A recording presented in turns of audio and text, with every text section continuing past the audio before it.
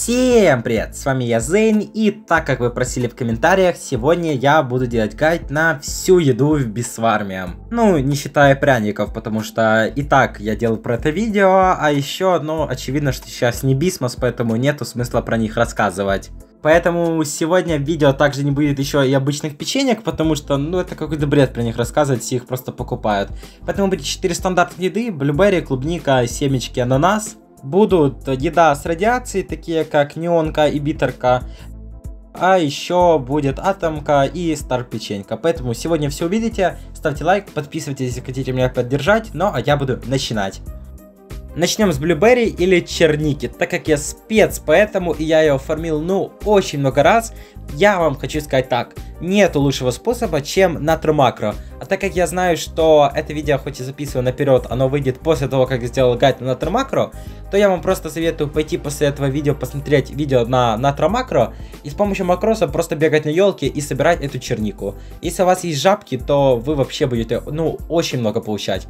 Но если вы все-таки не хотите макросить и хотите быть честным игроком, который хочет фармить, сам своими руками, хотя я не считаю макрос читом. Но в общем, для вас есть пару способов. Можете убивать дефолтных мобов, как Финобитл и Мантис. Также вы можете собирать просто сами пыльцу на этих синих полях, как поле синих цветов, на елке и на бамбуке. Еще я сам даже это недавно только узнал. Она падает с кактуса, так как на кактусе я много не стоял, поэтому как-то даже не замечал, что туда падает блюберри. Юзайте также диспенсер, не забывайте, это вам очень поможет. А так как я думаю, что вам блюберри нужно или для одарения пчел, или скорее всего для крафта блю экстрактов, то можете еще делать кусты буко пчелы, они вам тоже помогут оформить этих экстрактов. Также вы можете, например, если у вас есть 50 ростков, не спамнить самому этих 50 ростков на какой-то випке, а собрать команду на дискорд серверах, например, с человек 4, чтобы сильно сервер не лагал, которая каждая заспамнит по 50 ростков, тем самым вы залутаете 200 ростков. Да, хоть и будут лутать 4 человека, но в общем-то вы залутаете больше, чем в соло 50. Забирайте листочки, да, вот и в принципе все, еще ставьте обязательно плантеры, потому что с них падает очень много. Если вам нужны именно блюберри, то покупайте гидрофоник и блю клей плантер. С них будет падать блюберри и блю экстракты. Теперь поговорим про клубнику, так как это, наверное, второй по распространенной нужде ресурс. Хотя, может и первый. Клубника и черника, они, в принципе, похожие. Особо я могу сказать так же. Делайте натромакро и бегайте по полям. Если не хотите, то убивайте таких мобов, как Скорпиона и Божью коровку. Бегайте на полях, как клубника, роза, мухомор и тоже кактус, потому что это наполовину синее, наполовину красное поле. Используйте диспенсер, играйте в муравейник, чтобы получить и блюберри, и клубнику, хоть вам там ее и немного дают, но дают. Также лутайте мемори матчи, особенно тот, который на 35 локации, там вам тоже может очень хорошо отсыпать как и клубники, так и блюберри. Ну и очевидно может также отсыпать там и семечек, и ананасов, про которых мы поговорим немного позже. Лутайте ростки на пати, собирайте токены с листочков. Да и в общем-то все, ребят. Также вы можете, конечно, еще лутать грибы, но я бы не сказал бы, что они прям много дадут, но если много лутать, то реально много дадут. Поэтому про клубнику быстренько побежались, давайте дальше про ананас. С ананасами уже немного поинтереснее, так как они не падают с каких-то определенных по цвету мобов. Не падают как из синих, так и с красных. Например, они падают со скорпиона, мантиса, а также паукам. Паука их прям много дают. Мне один раз паука упало 100 ананасов, так что убивайте паука, не забывайте про него. Ну, ребят, очевидно, не могу сказать уже, ну, точнее, не, не могу сказать про натромакро, потому что, ну, ставьте на ананас, и это реально лучший способ. Также вы можете лутать, конечно, еще диспенсер, который находится там возле ананасового магазина на 10 локации. Но он дает там, ну, ничтожное количество ананасов, там он больше печенья дает. Также он падает в муравейнике, в мемори матче, за грибы, как я говорил, за ростки он падает на ананасовом поле, да и на многих других, но ананасовом очевидно больше. Но вот тут уже появляется немного другой способ. Вы можете также фармить стикбага, и за него в конце вам будут давать тоже прилично ананасов. Еще он также падает с ростков, э, листков, а также вам может дать его кабади. По ананасу быстро пробежались, давайте теперь семечки. Основной их поле фарма это подсолнух, поэтому опять же просто ставьте натро-макро на подсолнух. Но если вы у нас очень честный игрок, то семечки падают именно с таких более тяжелых обычных мобов, как волк и паук. Также она падает как из муравьев, так и с мемори матча, так и с ростка на подсолнухе. Да и в принципе семечки, не знаю, очень много так говорят, возможно это из-за того, что поле подсолнуха длинное, но семечек вы получаете обычно больше всех из вообще всех видов еды. Потому что если вы поставите макронатра или сами просто будете бегать по полю, то вы увидите, что реально семечков падает побольше именно даже не то, что на подсолнухе, а вообще семечки это самая распространенная еда, которая больше всего падает со своего поля. Еще вы, конечно, можете выбить их с листочков, а также получить ее со своей фести пчелы в виде токена подарка, как и все остальные виды обычной еды. Переходим уже к более интересной еде, такой как битерберри, которая нуждается для мутации. Ее в основном формят ребята с Мондо цыпленка. Вы заходите на 25 локацию, каждый час просто его убиваете, и оттуда вам очень часто падает битерберри. Также еще ее основной способ это грибы, с которых ее тоже падает не меньше. Она там падает даже с самых обычных грибов, поэтому там вы можете их нафармить навалом. Также есть маленький шанс, что она упадет практически, ребята, с каждого моба, но не с каждого, давайте все-таки перечислю. Это Леди Баг, паук, скорпион, туннельный медведь, кокосовый краб и дикая ветряная пчела с палочником. С каких полей она падает? Именно не с листочков, а просто токены, когда вы собираете на поле. Это мухомор, паук, кактус, розы. Поле на вершине горы, это у нас 25 локация, и перец. Также ее редко, но может дать ваш кабади, сразу 5 штучек, будет такой просто кружочек с битерберри. Есть шанс получить просто собирая листочки вообще на любом поле, но он очень маленький.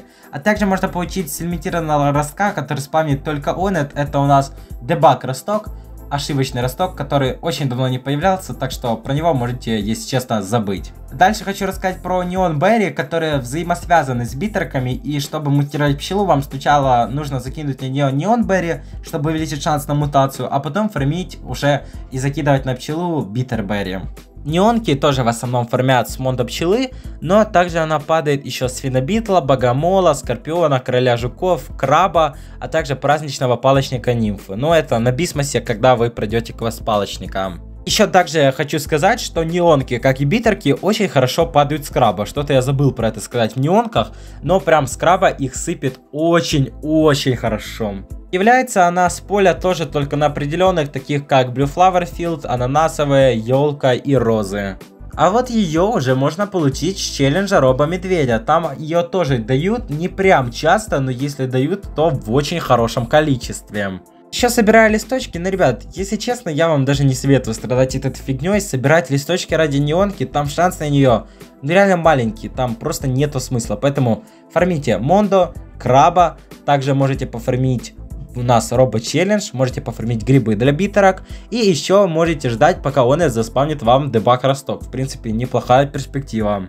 Но еще ее очень много давала на Бисмос, когда у Роба Медведя проходили квест, и все становилось у него праздничным. У меня оттуда очень плохие флешбеки, когда мне проходилось лутать около 200 этих робопати, но не будем об этом. Дальше мы поговорим про атомное печенье одно из единственных печений вообще в игре, их всего три, и это одно из единственных, которое падает только с одного моба. Это у нас кокосовый краб, босс, оттуда оно падает, но очень редко. Не прям чтобы так, как старпеченька с листочка, но довольно редко все же падает, и выбить ее оттуда тяжело. Обычно атомку юзают не для того, чтобы моментально получить мутацию на пчеле, а чтобы задонатить в храм, это обычно делают на эндгейме, и получить баф на перец. Есть также шанс, что вам ее даст Кабади, но честно, за сколько моему Кабади уже? Где-то два с половиной года я ни разу ее оттуда не поймал и вообще не знаю, кто-то ее оттуда ловил или нет. А то я знаю, что ее получали из челленджа Роба Медведя, так что вы можете там ее тоже пробовать. А также ее еще получали с Роба Вечеринки, когда она опять же была на Бисмас. Да и в принципе все, это практически единственная еда, которую без бисмоса можно получить нормально только через краба. Star Treat. Очень желаемая вещь среди бисфармеров, но способов у нее реально очень много. Скажу сразу, самый лучший, ребята, способ, вы можете этим заниматься целыми днями, если вам нет что поделать, можете ее пытаться выбить с листочков. Потому что я читал сегодня Википедию, там написано, что ее можно выбить с листочков и в скобочках так еще очень редко. А, я не знаю, кто этим будет заниматься, но ладно. Общество ее почти всегда покупают за 1000 билетов или получают с квестов. Но хочу сказать еще способы, с которых ее можно прям хорошо получить. За 100 Мондо цыпленка вы ее можете получить. Вы можете сказать, что это очень тяжело, но в принципе, если вы найдете себе раба, который с 20 hive ом, красный улей или там 19, то он может вам спокойно помогать ее убивать. Ну а теперь реальный хороший способ где даже я получил эту star печеньку. Это Мондо курица. Ее реально очень сильно недооценивают по дропу. С нее может выпасть mythic egg в шансе 1%.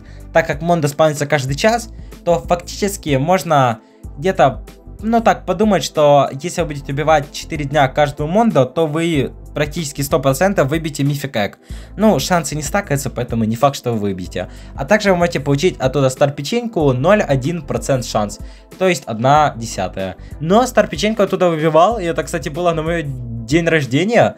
Да-да-да, на день рождения это было. И это было очень прикольно, ребята, я тогда очень обрадовался.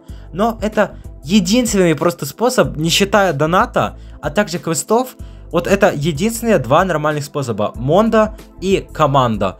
Потому что с краба написано, что тоже можно ее выбить. Но я ни одного, наверное, не встречал человека, который выбил star treat с краба. Я видел на ютубе, но прям чтобы общаться с таким человеком, нет. Так что выбивают оттуда единицы.